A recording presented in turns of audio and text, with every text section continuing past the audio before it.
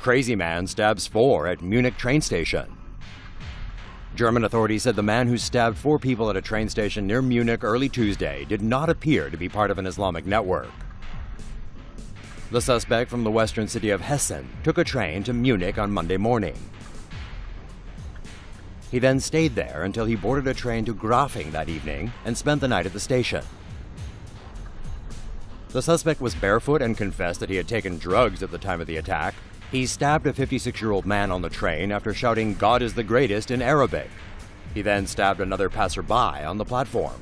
Two cyclists, one of whom was delivering newspapers, rushed to help the victims but were attacked by the suspect in the front yard of the train station.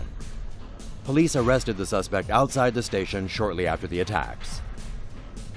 Authorities said the suspect has given very confusing statements and he might be referred to a psychiatric institution.